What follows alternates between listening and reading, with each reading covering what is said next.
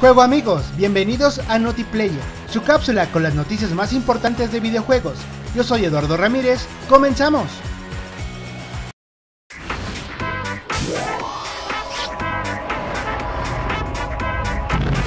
En la Campus Party 2017, celebrada en Guadalajara, la plataforma Twitch anunció que en conjunto con Gaming Green, asociación mexicana enfocada en la ecología y los videojuegos, recaudarán fondos para rescatar el Cañón del Sumidero. Localizado en Chiapas, el Parque Nacional Cañón del Sumidero es una de las principales atracciones turísticas de México, de gran riqueza ecológica y uno de los cañones más imponentes del mundo. A través de él corre el río Grijalba, cuya agua sustenta más de 200.000 personas en el área. Sin embargo, la contaminación causada por la industria, la población y el turismo pone en serio peligro la biodiversidad del área. Se estima que cada día entran hasta 5 toneladas de desechos sólidos al cañón del sumidero y que si esto continúa así, en el 2025 el daño será irreversible. Esto de acuerdo a un estudio de la UNESCO. Gaming Green se ha puesto tres metas a alcanzar. La bronce, que busca juntar 30 mil dólares para limpiar los bancos u orillas del río. Plata, que busca juntar 130 mil dólares para limpiar las orillas y la superficie completa del río. Y la última, la oro, que busca juntar 320 mil dólares para limpiar el río por completo y extraer desechos del fondo. Puedes participar donando en los streamings de Gaming Green, compartiendo la liga de donación o siendo voluntario. La campaña se llevará a cabo del 18 de julio hasta el 1 de agosto. Estaremos al pendiente de los resultados de esta campaña. Tres noticias de tres videojuegos de pelea. La semana pasada se reveló en la revista Famitsu que Krillin y Piccolo estarán en Dragon Ball Fighter Z. Por el momento solo se conocen imágenes de los personajes.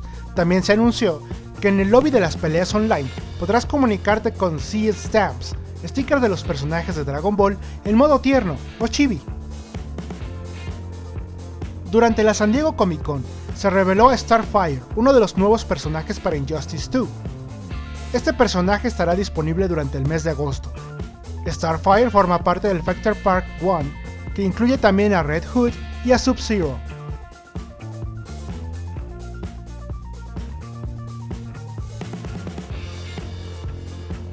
También durante Comic Con se revelaron personajes nuevos para Marvel vs. Capcom Infinite. Nemesis de Resident Evil Hagar de Final Fight, Frank West de Dead Rising y a Spider-Man.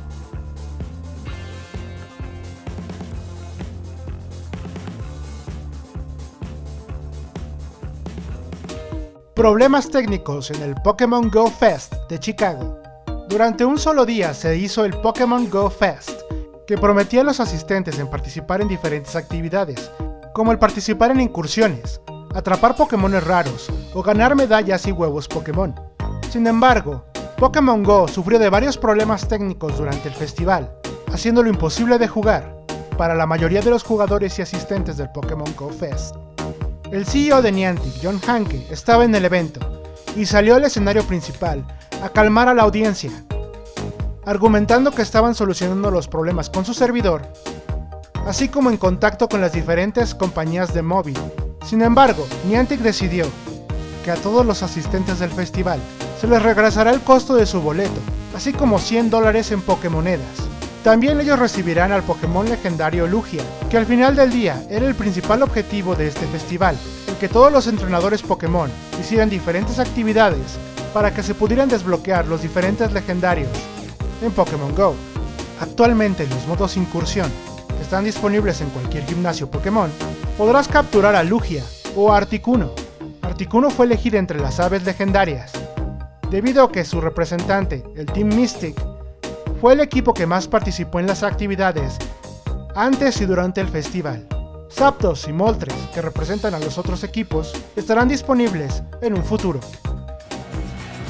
Y eso es todo por el día de hoy. Recuerden suscribirse al canal y dejarnos un comentario, así como un like o un pulgar arriba a este video. Yo soy Eduardo Ramírez, nos vemos la próxima.